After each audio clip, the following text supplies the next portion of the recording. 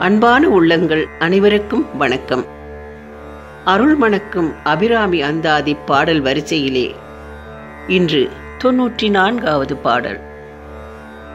வெறும் தொழும் அடியார் விழிநீர் மல்கி மெய்புலகம் அரும்பி ததும்பி ஆனந்தமாகி அறிவிழந்து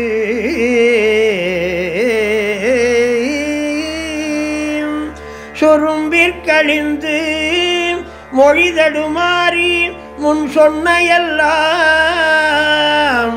தரும்பித்தராவர் என்றால் தரும்பித்தராவர் என்றால் அபிராமி சமயம் நன்றே. விரும்பித் தொழும் அடியார் விழிநீர் மல்கி மெய்ப்புலகம் அரும்பி ததும்பிய ஆனந்தமாகி அறிவிழந்து சுரும்பிற் கழித்து மொழி தடுமாறி முன் சொன்ன எல்லாம் தரும் பித்தராவர் என்றால் அபிராமி சமயம் நன்றே.